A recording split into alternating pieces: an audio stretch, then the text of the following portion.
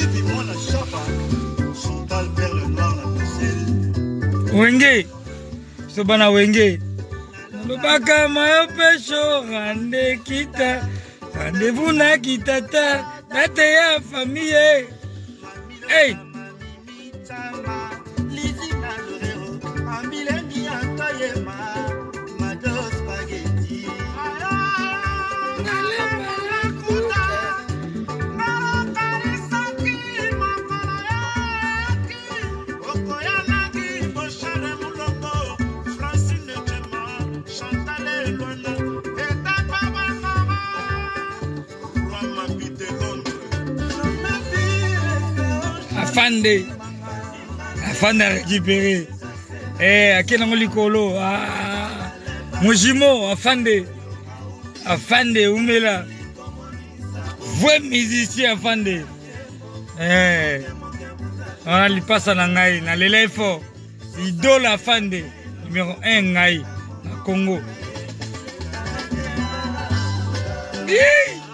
ma eh? Hein? Ma? afande umela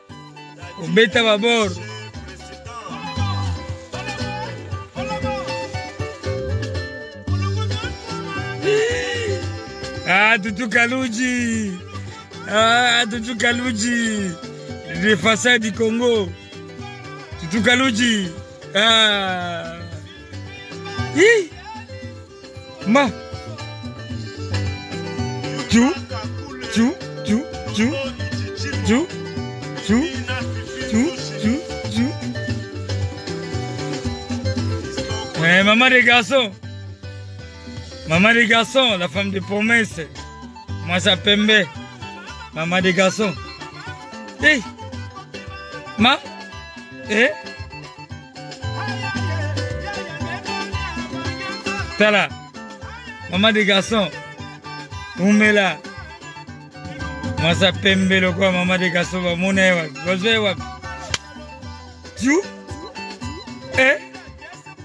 eyi bato baneglijaka basi e eh? bazalaka na malédiction mwasi abimiselo bana 9 mois 9 mois 9 mois 3 bana ape mwasi akomi femme sel likolo na yo mobali non bato banegligaka basi bwana mpo mitu mwasi aza lokola mama awa bota yo peu importe le problème faut respecter mwasi hein? peu importe le problème faut respecter mwasi mwasi aza mama c'est une mère c'est pas une mère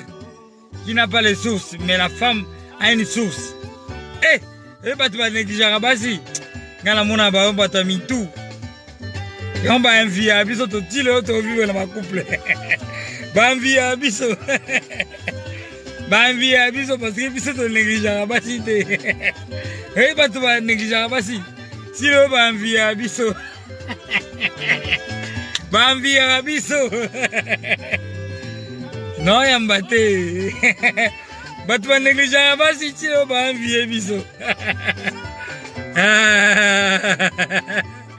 bato banegligaka basi ti lelo baambi ye biso parce que biso onegligaka basi te biso tonegligaka basi te lobota a negligeaka mwasi te nayebi douleur ya mwasi eh.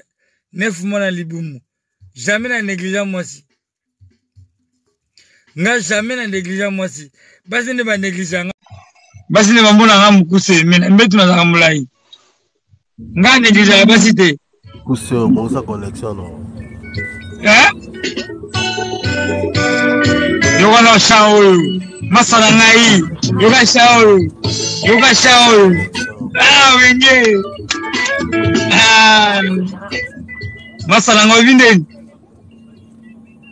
Connexion eza bien te. Ah, nazala na poto eza connexion masino bien ya maluka. Ah, na na poto mon cher, na somba connexion te, na boto mala connexion na poto. Hein? Ah. Tolobela olobela sujet ni. Toi sujet ni olobela. Sujet na olobela kaka. Ba negligeaka basi. Ah mwasi amemi yo neuf mwana ya libumu abotolo bana misato ti mwasi akomi femme sel yo moto opesi wazi azala femme sel mpo akozala femme sel te bana wana babimaki na sel te bana wana babimaki na, na, na motu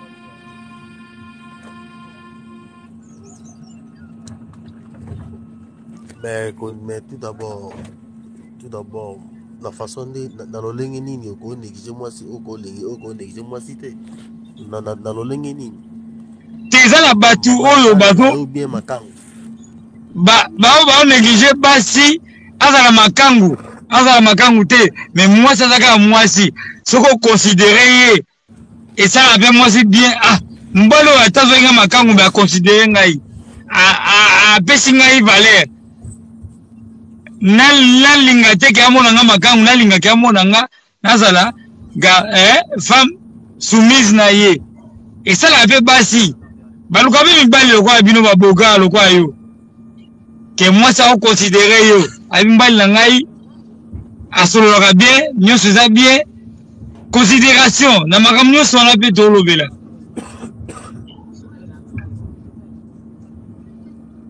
mpo baneglige moto anegligaka mwasi ngai alingaki te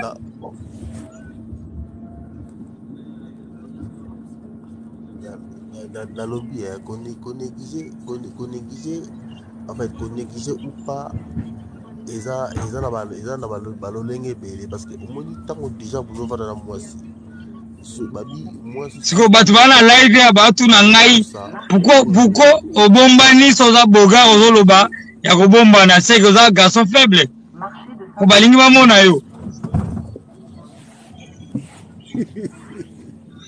bayebi garçon faible nde babombanaka parce que bayebi ke baya sire na bango te bakobotola bango mpa mibali na ba- basi na bango eh, eh, ba- bakoma ata bakomantere ebele awa Tokoki- tokoki tokoki tokoki koneglige bamama te parce que bamama nde ba- bamama nde bango bango nde moto basalaka te mpo tozala bamama pole bango nde motu nde basalaka mpo lelo biso banoko tozala mpo lelo tobima boye na miso ya bato eza bamama mpo lelo tokóma boye ti na kibombiaka boye eza bamama le mwasi oko neglige ete Messieurs, dames, il y a quatre portes.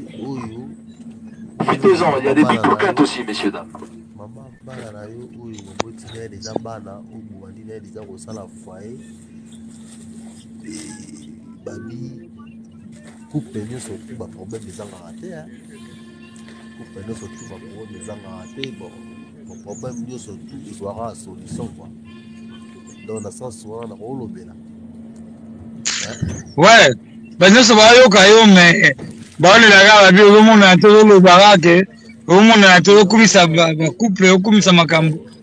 me elongi no baomona te so ozalaka mokuse na mbetu so ozalaka molai na mbetu baokomela ngai awa bon bocomprendre ye eh, aza kaka na besoin alakisa kaka ke alobi ne mpe verité parce que bakupe ebele na poto eza na baproblème mais soki masa na ngai rachidi eh? Rachidi Kibilu asololi boye parce que ayebi makambo asololi amona trop ti akomi na age akoma serieux eza mpe normal c'est que bo envie ye te ndenge ozoloba ko donc seko tomoni boye eza mpona bamama grâce na bamama grâce na bamama yango tokomi boye polelo grâce na bango yango nde moto nde lelo biso mpe totie bamama na ndako kasi bamama oyo baboti biso bamama baboti biso kasi na bango lelo mpe totuzi bamama oyo ya biso basi bamolongo ya biso tokoboti na bango bana donc c'est ça donc baza bamama oyo lelo oyo bazoporte un plus mpona biso donc il faut respect mingi na bamama parce que moi lelo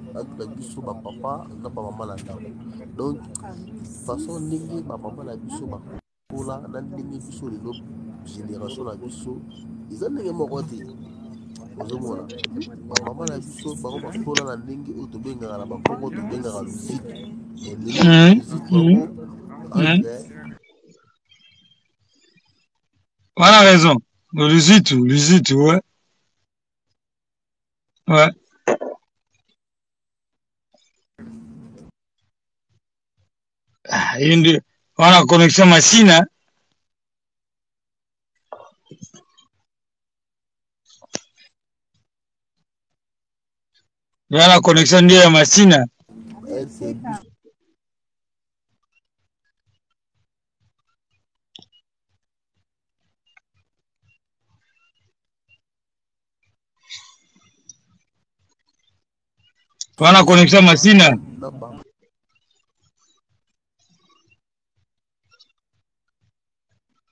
Wana connexion ba TGV ba metro wana kolekisa mpasi bato bokotawa bato baneglijaka basi mwasi apota o 9 mois mwasi abotela bana misato minei metili ozalaka femme sel basi wana bana wana obota bango na nzete oyo obota bango na motu naya biza bareponse na bino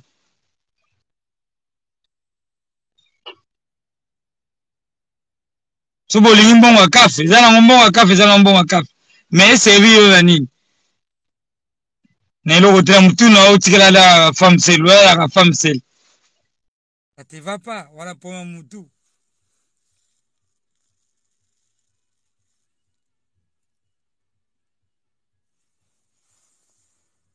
bokoto bokoto oyo akomprendre akomprendre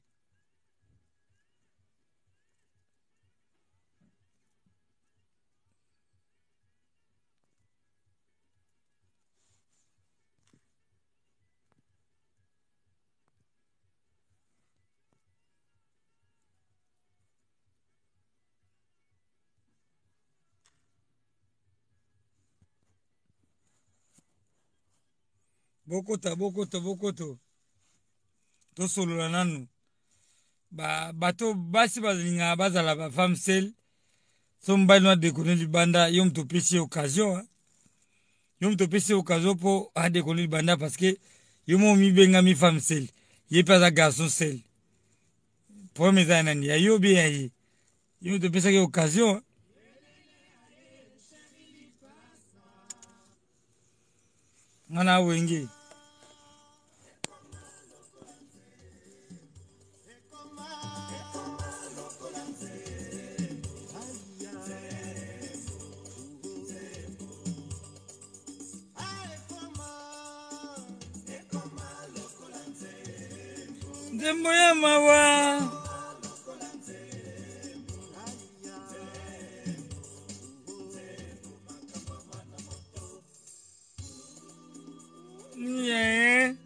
na vie na ngai nayebi dizoizo oki pentagole bana wenge ya tongo biso yeyo eh, afandi na burumpela de la famille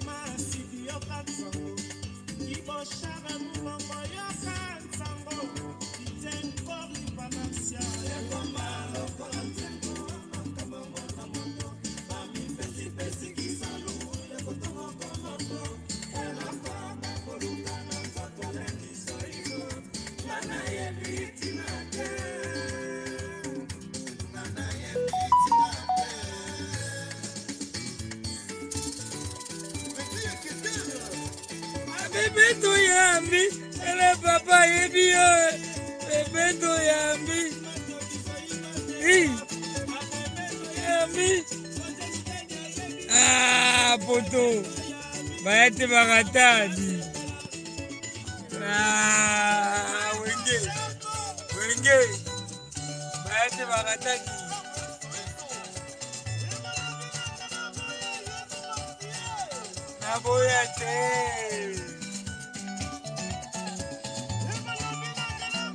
Wenge. Ah. Bandimie. Ekidokudoku.